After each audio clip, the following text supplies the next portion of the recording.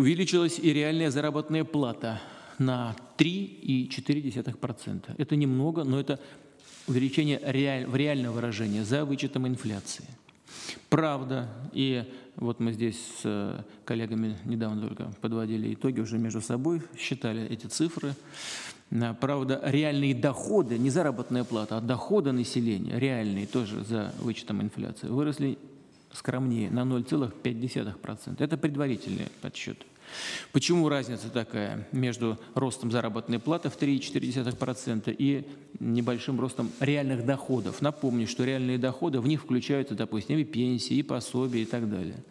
Э, и в текущем году у нас и пенсии росли, и пособия в соответствии с нашими планами и инфляционными э, процессами.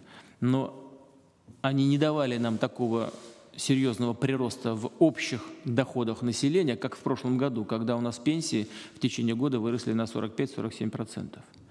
Я, вы знаете, прекрасно помню дискуссии того времени. И помню, как некоторые коллеги мне тогда говорили, не надо этого делать, не надо так серьезно повышать пенсии в 2010 году, лучше это делать в предвыборный год, в 2011 году. Ну, давайте прямо скажем, что все-таки мы с вами должны руководствоваться не внутриполитическим календарем. Правительство России в любом случае и всегда должно прежде всего руководствоваться интересами граждан.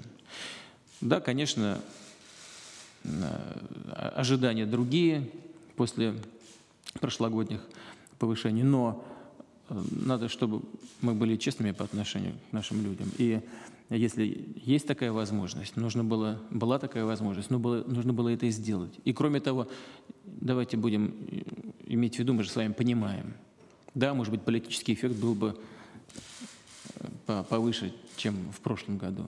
Но наши люди целый год получают эти повышенные пенсии. Целый год. И именно в трудное время, в девятом, в десятом году нужно было поддержать тех людей, у которых э, небольшие скромные доходы. Мы правильно с вами сделали.